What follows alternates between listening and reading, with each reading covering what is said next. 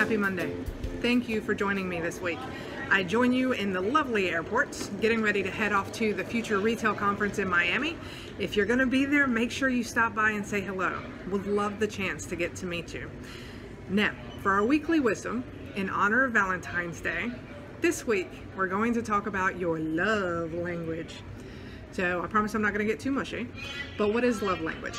So love language is a quiz that you can take online. Normally it's done for romantic relationships. And what it does is it helps you identify your partner's love language so you're communicating in their language instead of your own. For an example, my love language is acts of service. My husband's love language is quality time.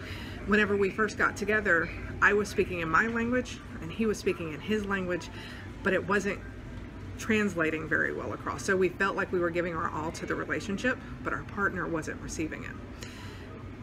After we used it for us to great success, I wondered if I could use it in a professional environment. So I started using it with some of my cast members, and I would ask them to answer the questions as though they were in the professional environment, not the romantic environment.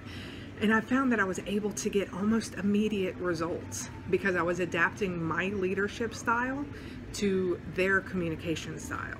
And when I started rewarding them through their love language, they could hear it and understand it. So it wasn't wasted effort. It was very efficient and it got much better results with the relationships, which was critical.